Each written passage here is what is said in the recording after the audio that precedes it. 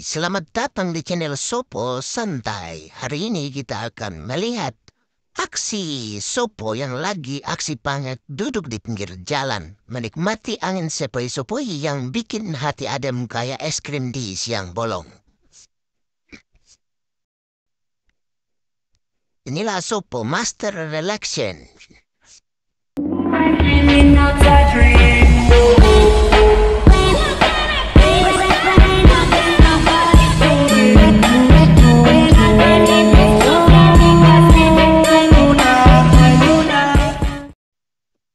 Ini dia, datang si babu aku, teman setia yang selalu punya ide iseng. Kali ini, dia ngajak aku main tangkap ranting kering. Dan aku tentu saja langsung tertarik. Mulai deh kejar-kejarannya, lihat tuh.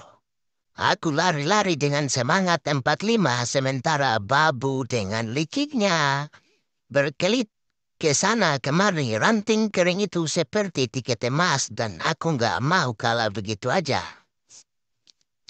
Wah, babu bikin jebakan guys. Rantingnya di pohon. Kalau Sopo mau dapetin dia, aku harus manjat pohon dulu.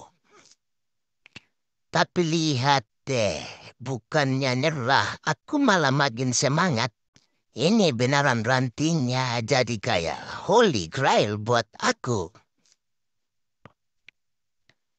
Aku pun mulai misi menaklukkan pohon dengan jurus andalan aku yaitu ninja kampung. Ya, aku berusaha untuk mengelabui bapakku. Lihat aja dia, nanti aku akan kalahkan dia. Aku akan ambil ranting itu dari tangannya. Ternyata babu punya trik lagi ya. Hmm. Aku akan berupaya memanjat pohon ini dengan jurus ninja kampungku. Lagi-lagi babu aku mengajarku. Oh, dia benar-benar super tipis. Dia bikin gerakan yang sangat licik. Setiap kali aku hampir dapetin, dia nggak ada habisnya kejahilan babu ini.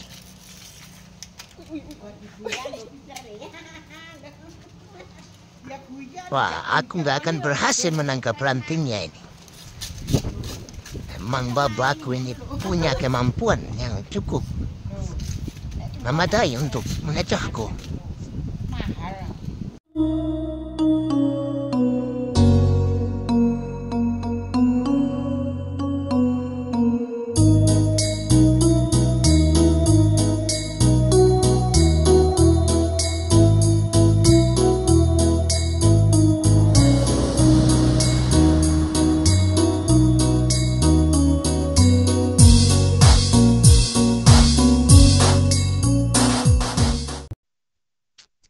Sopo pun bersembunyi di bawah mobil dengan hati deg-degan nungguin reaksi babu.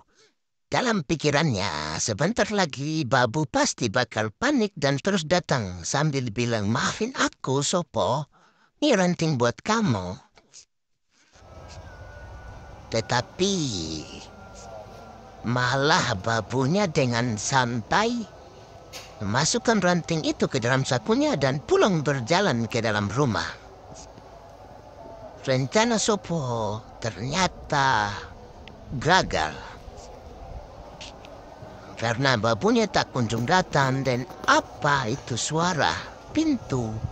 Jangan-jangan babu benar-benar ninggalin Sopo sendirian di luar.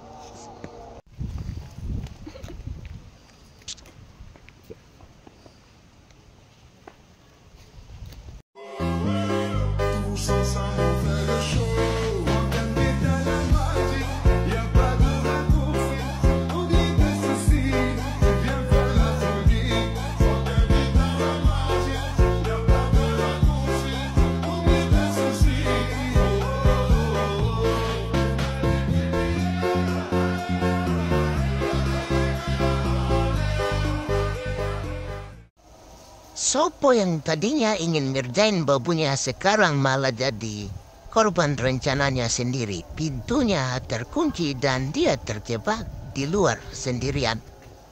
Wah, ini benaran bumerang guys. Mungkin Sopo perlu belajar. Kalau ngambek gak selalu menghasilkan apa yang diharapkan. Meski rencana Sopo gagal, Sopo sepertinya nggak menyerah. Dia tahu babunya pasti nggak jauh-jauh dan mungkin mereka bisa selesaikan ini dengan kita bareng. Karena ya hidup terlalu singkat buat ngambek lama-lama kan. Ya, ya. Tampak ekspresi Soponya mulai agak sedikit sedih. Ah, makanya Sopo, ambek itu jangan pakai acting. Waduh, Sopo, Sopo. Dikunci kan? Nah, hidup ini terlalu singkat. Jadi ngambek jangan lama-lama ya.